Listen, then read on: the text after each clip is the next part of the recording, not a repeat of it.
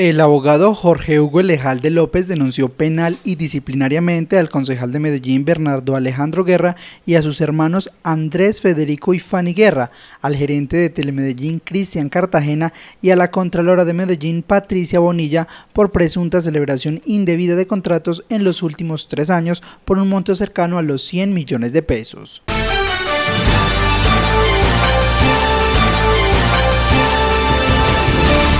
La Gerencia Indígena de Antioquia y Corpuraba firmaron un convenio para implementar planes de ordenamiento territorial y ambiental en las comunidades indígenas en ocho municipios de Urabá y occidente del departamento. Cada una de las entidades se comprometió a aportar 300 millones de pesos para un total de 600 millones de pesos, los cuales serán empleados para afianzar la gobernabilidad en los resguardos indígenas, preservar el medio ambiente y mejorar los sistemas de abastecimiento de agua. Crecemos para darte seguridad y calidad de vida.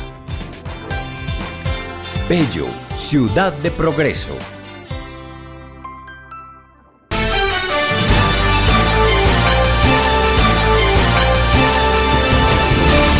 La concejal de Medellín, Natalie Vélez, muestra su preocupación por los casos de violencia sexual en la ciudad, que en lo que va de 2018 llegan a un registro de 1978, de los cuales 518 casos se han perpetrado a menores entre los 0 y 5 años. A la corporada también le parece inaudito que el maltrato infantil haya incrementado en un 173% en 2018 con 2.515 casos.